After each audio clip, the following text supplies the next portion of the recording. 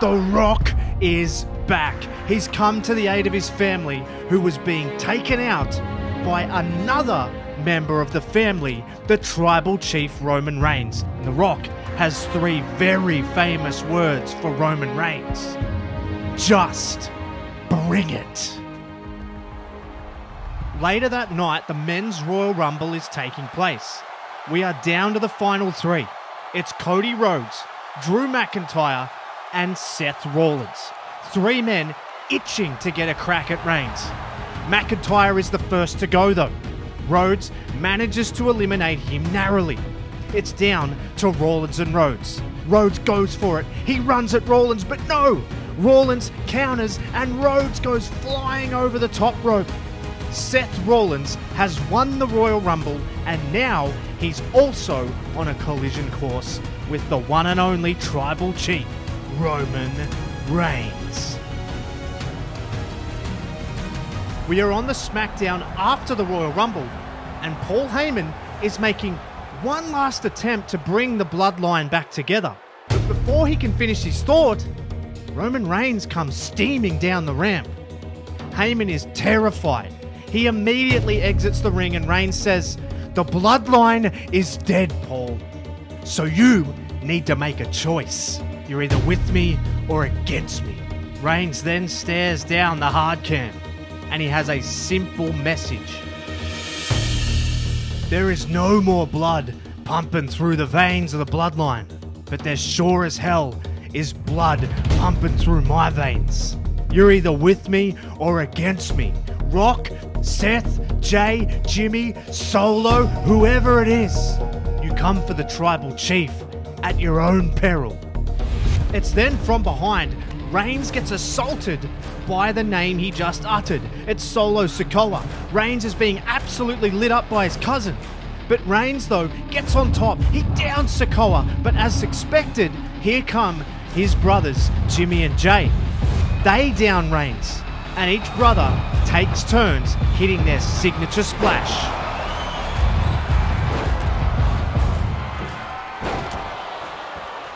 Reigns is left in a heap.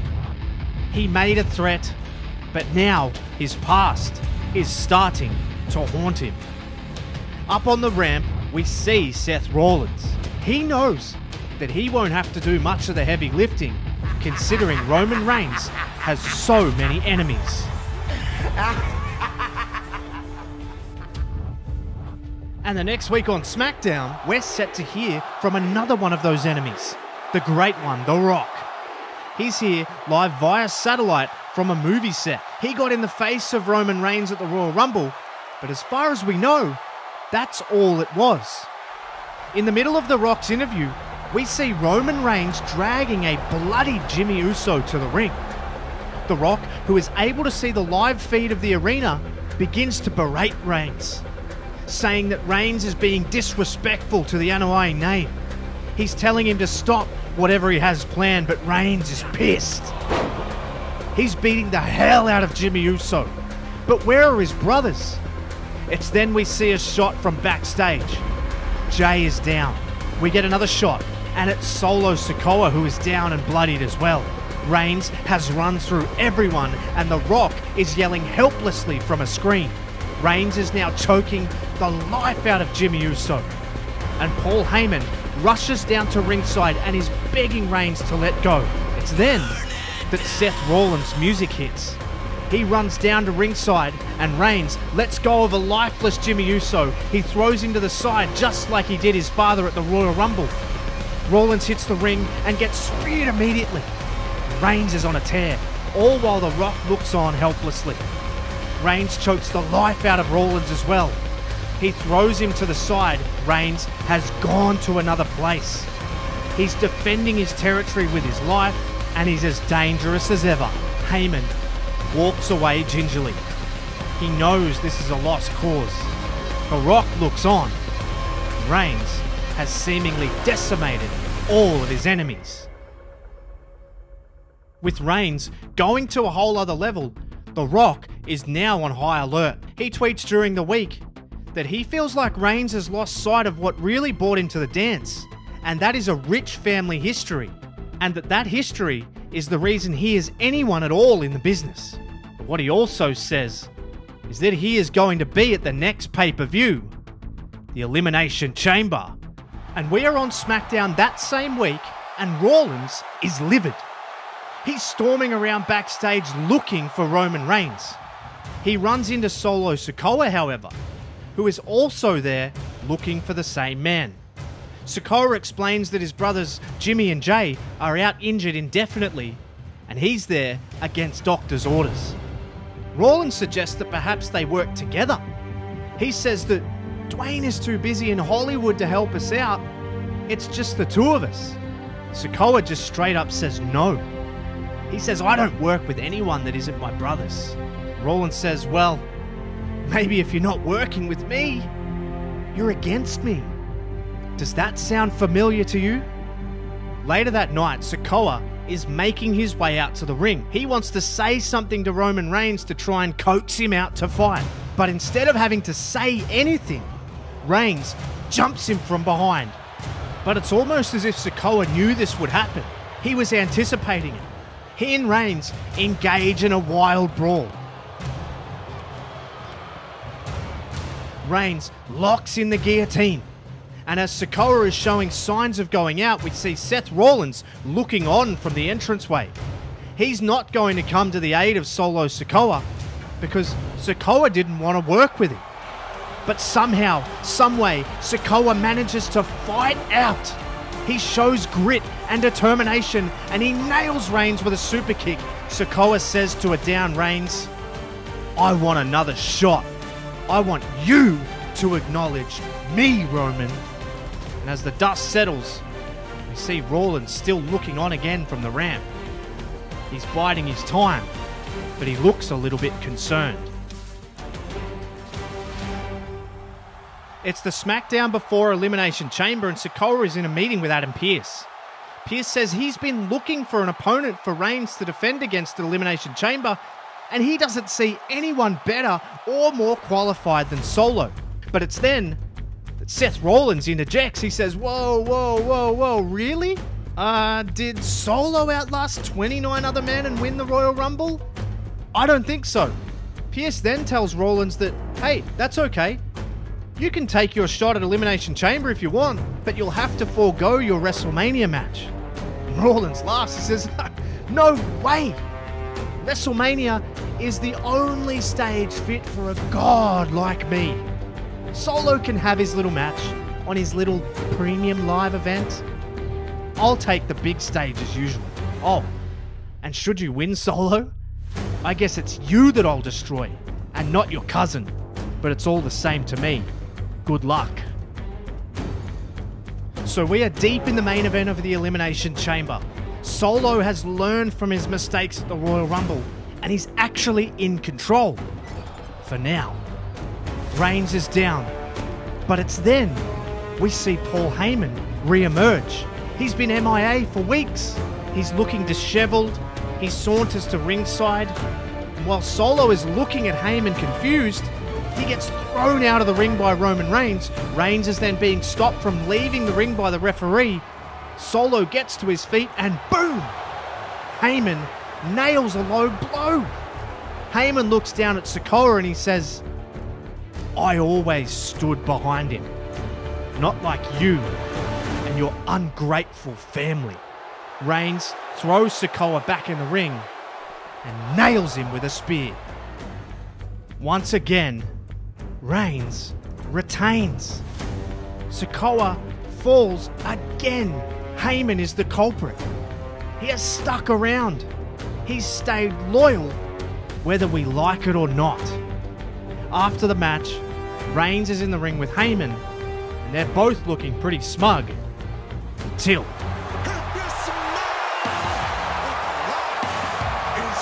Just like the Royal Rumble, The Rock is here to get in the face of Roman Reigns. Reigns runs at The Rock. He's furious, but he gets caught with a rock bottom. Reigns is dispatched by the Great One, who then turns his attention to Paul Heyman. And he says he's written a lot of checks his ass can't cash. Well, now it's time to pay the piper.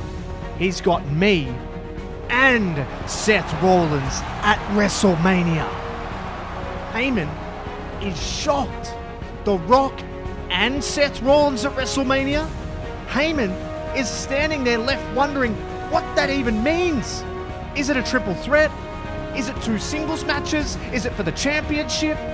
We're now officially on the road to WrestleMania Hollywood.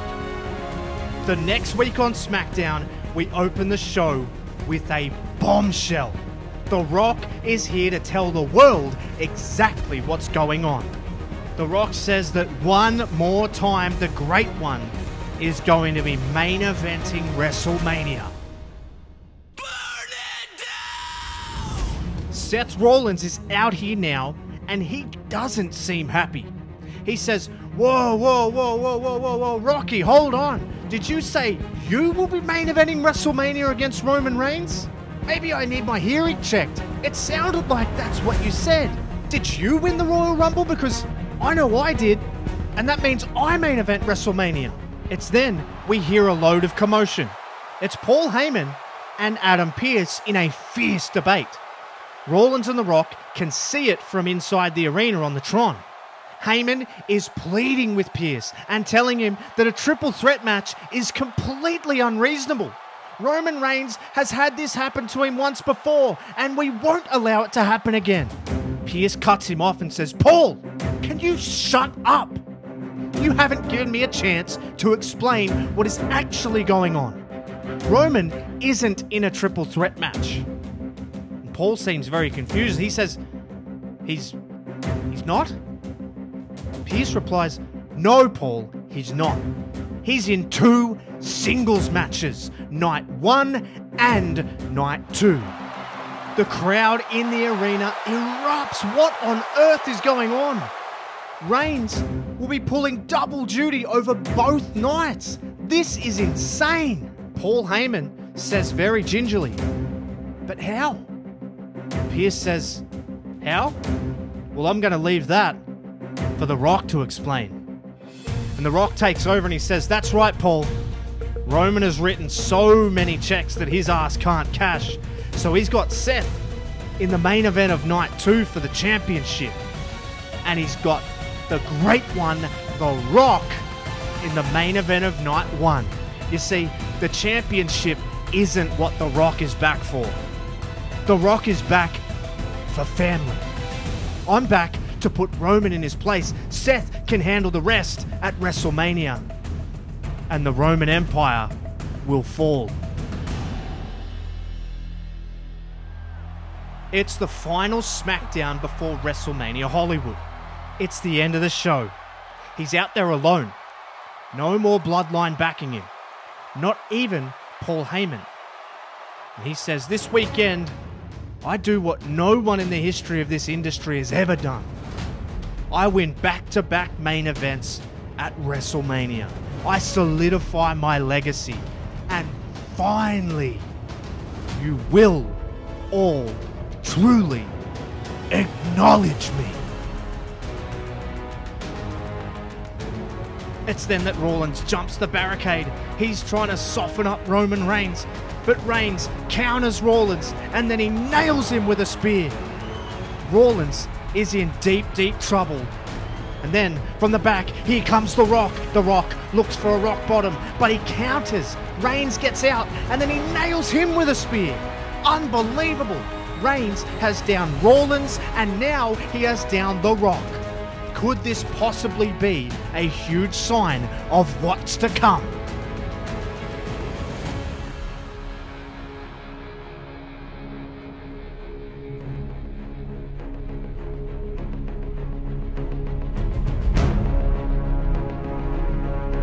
It's deep into the non title family grudge match. It's personal, and The Rock has requested that no one show up. This is between he and Roman. He wants to settle it one on one. Roman is fired up, he's fresh, and he's taking it to The Rock, who is clearly struggling with the pace that Roman is setting. The Rock has been out of the ring for years, and it is really showing. Roman is looking down at him. He says, Are you ready to acknowledge me? Are you ready to acknowledge your tribal chief? Reigns bends down to pick up The Rock to finish him off, but he catches a knee. Reigns is stunned. The Rock grabs him. It's a rock bottom. Reigns is in trouble, and The Rock is setting up for the people's elbow. The Rock doesn't notice though. Reigns is back up, and as The Rock bounces off the ropes, he gets blasted with a Superman punch, and Reigns goes to the corner. He's poised. Before he runs at The Rock, he says two words Acknowledge me. Boom! He nails The Rock with a spear. Reigns has done it. One down. He's won the first of his two WrestleMania main events. History beckons. He is standing over The Rock and he yells, I said, acknowledge me!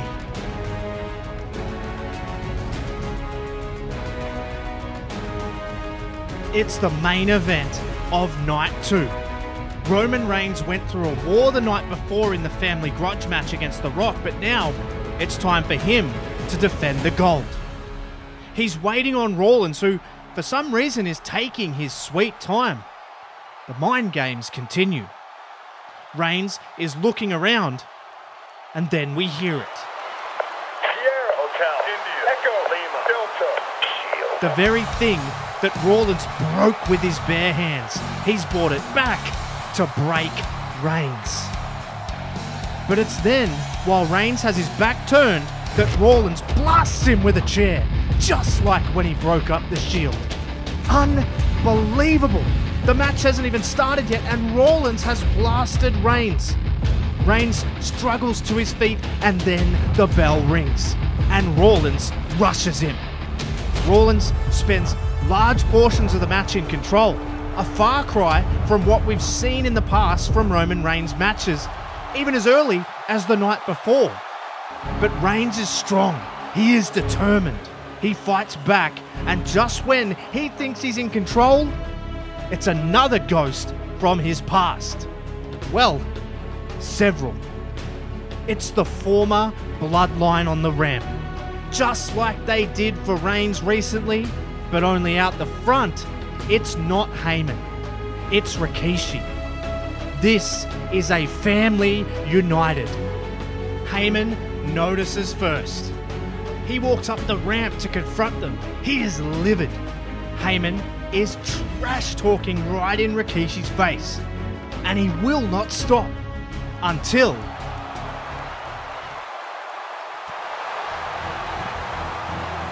and Reigns then catches the family at the top of the ramp. He looks up towards them and he says, You're back for more?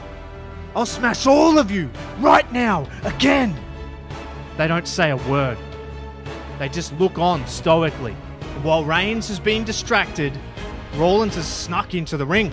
Reigns slides into the ring, but as he does, boom! He's nailed with a curb stomp. Rollins took his chance, but he's not leaving anything to chance. He lines him up, and he nails another. All while the family watches on. They're here to witness history, alright. They're here to see this historic reign end.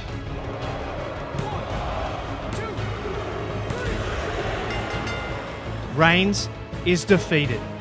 The former bloodline is there to witness it. Rollins has broken the shield that Roman built, and the Roman Empire has fallen.